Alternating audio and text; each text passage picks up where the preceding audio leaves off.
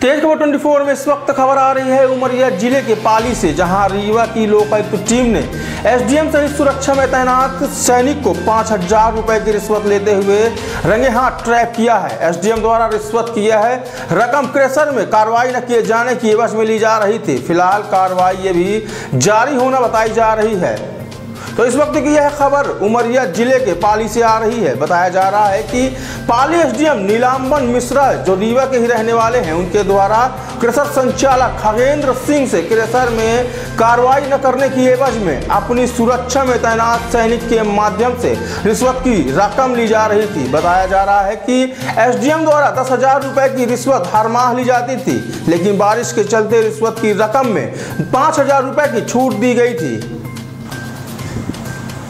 दरअसल इस मामले की शिकायत फरियादी खगेंद्र सिंह ने पूर्व में ही लोकायुक्त से की थी, जिसकी शिकायत पर लोकायुक्त ने जाँच के दौरान शिकायत सही पाई और एसडीएम को सैनिक के माध्यम से रिश्वत लेते हुए रंगे हाथ ट्रैप कर लिया गया है। ट्रैप की यह कार्रवाई लोकायुक्त एसपी राजेंद्र वर्मा के निर्देश पर निरीक्षक हितेंद्र नाथ शर्मा के नेतृत्व में 25 सदस्यीय टीम ने की है। फ़िलहाल कार्रवाई ये भी जारी होना बताई जा रही है।